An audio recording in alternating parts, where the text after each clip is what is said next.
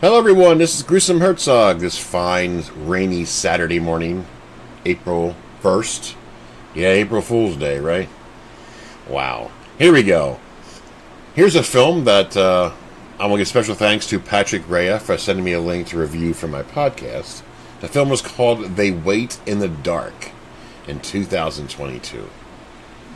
Here's the storyline Amy, a young woman, is on the run with her young son Adrian from her abusive ex girlfriend.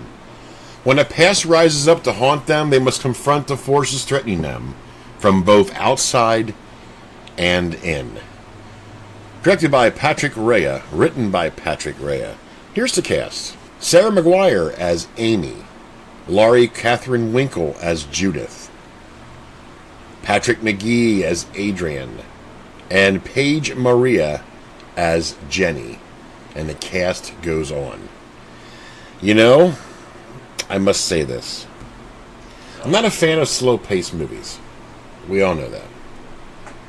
And this has a little bit of it. But it's not a knock, not whatsoever.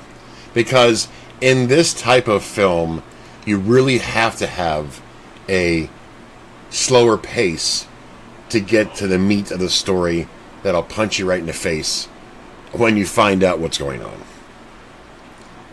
Incredible.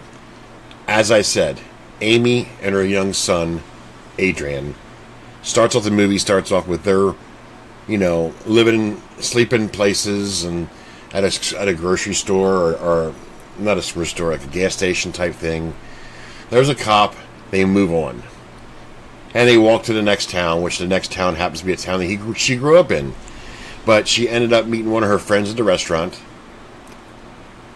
And she took her and her son to her family home. Now, there's history in that family home that you see in the beginning of the film. I'm not going to say what it is because that's foolish.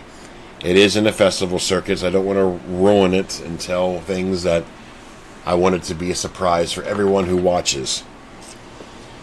But there's another story. There's quite a few stories in this film. I think it's what makes this film so incredible. You have you have Judith. That's um, Sarah.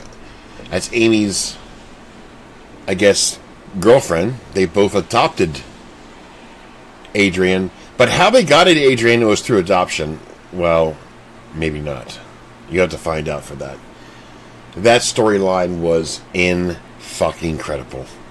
And I would love to say it, but I can't. There's more to this story that meets the eye. Fucking absolute brilliance. Patrick Rea, you kind of made a different movie, a different style, and it shows because it's absolutely surprising. I love the cast in this film. I love the way it was shot. The music was cool.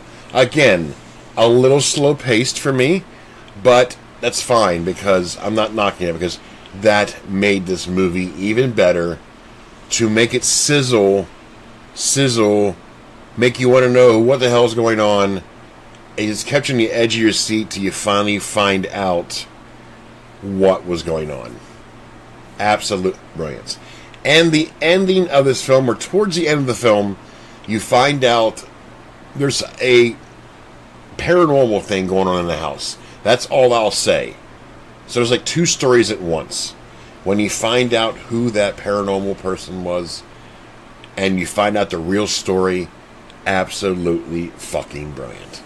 I will say no more than that. I don't want to give anything away. But hey, you got to see this. From what I understand, it's going through the festival circuit this year.